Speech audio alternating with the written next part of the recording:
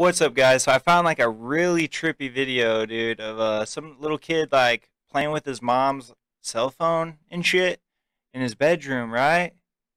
And uh, after the kid goes to sleep and shit, you know, everything is still normal. His mom goes to like check the camera, you know, like see what what her kid's been doing, you know, make, taking selfies and shit like that.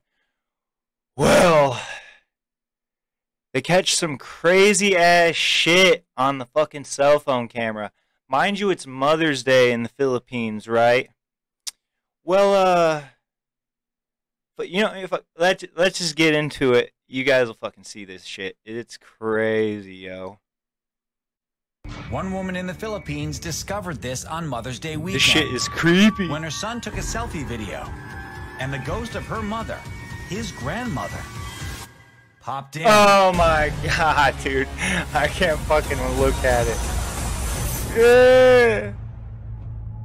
Ugh, dude, it gives me chills, bro. Mother's Day weekend 2018 in San Jose, the Philippines. While Teresa Ocampo cooks dinner, her young son entertains himself by taking selfie videos with her phone. Ugh. Mind you guys, this ain't a reaction. I've already seen this shit before. I just want to show you guys it, cause I, I guarantee you guys haven't seen this crazy ass shit. But, uh, yeah, dude, maybe we can all, like, get down to the bottom of this shit, you know what I'm saying? But yeah, let's get back into it. Hours later, with her son in bed, Teresa nonchalantly reviews the selfies and sees this.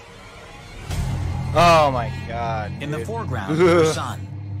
Right next to him, her mother, who had died a year earlier.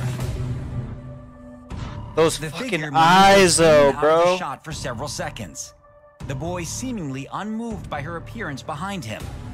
Before the footage ends, the photo to the right shows her mother Oh, when she was alive, It's so eerie, dude. and the resemblance is undeniable. Like, undeniable. bruh. My name is Teresa Bruh. Ocampo. I examined it closely. The face really was that of my mother. na po ako na halos I was so scared that I couldn't talk anymore. This clip was super creepy to me.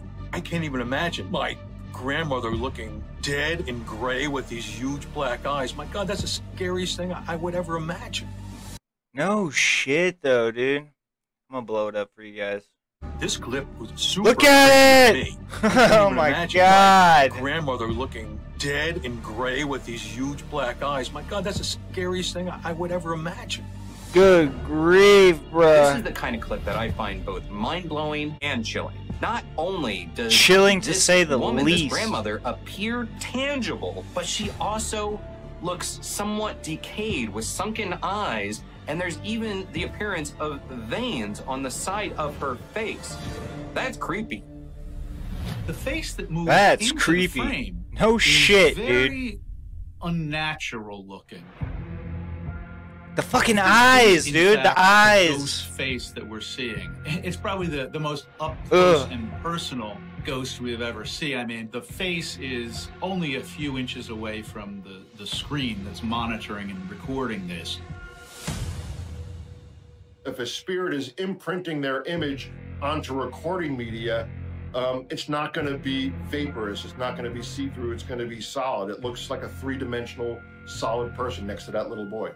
And side by side comparison, you know, they're a pretty good match. That guy must be a paranormal expert. difference. Her eyes did appear to be sunken in a portion of this video. It's almost like she was manifested up to a certain extent and then her eyes started to hollow out. A lot of people that Shit have is seen insane. apparitions mention that the apparition's eyes tend to be hollowed or blacked out, almost sunken in the face like a skull. The idea of the sunken eye socket or the gaunt look in a ghost or a ghoul, if you will, it goes back to the times of uh, burial preparation and, and just dealing with dead bodies in general. The body decomposes, its eyes sink in, its, its cheeks sink in. And that's sort of the look we're getting I think it's kind of fucked up. He called her a ghoul, though. You know, she's just visiting her grandchild on Mother's Day, yo. here. When you first watch this video and find out exactly what's going on, you might be scared. You might be terrified. But The fact of the matter is, look at the boy. He seems just fine. If he's feeling the presence, it's of something familiar. It's a family member. It's someone who is there to protect him, to watch over him. But Teresa's son's reaction, or Hell lack yeah. thereof, is not as surprising when you consider where they are living. The belief in a spirit world is so deeply ingrained in Filipino culture. It's not a question of whether or not we believe in it, it is real. Because we believe that deceased ancestors never really leave us, even when they cross over to the other side. All they did was move on into the spirit realm, which is all around us and constantly interacting with us. I believe it, dude. You can see that because the little boy, he's innocently taking this selfie video, and his deceased Lola just shows up behind him. He's not afraid, he doesn't react at all. It's simply just a thing that happens. It's not surprising to me that this Lola showed up on Mother's Day to remind her family, you know, don't forget me. She was always in our dreams. She'd always appear. Kapatid ko lagi pong There was something she wanted to tell us. malabas po siya lagi. May, may gusto po siya ipahiwatig. She really didn't want to leave us. Ayaw na po kami iwan. That's crazy, dude. That shit is crazy. Oh my god, dude. Ah. Ah. Yeah, what do you guys think of it? Let me know down in the comment section, you know. Uh, pretty crazy fucking shit. But uh yeah, don't forget to leave a like, subscribe to your boy. Yeah, guys, I don't I don't know what to think of that shit, man. Mind blowing. It's like the closest close up ghost footage ever like captured. Has to be, dude. Has to be. But yeah, guys, that's it. We out of here. Peace.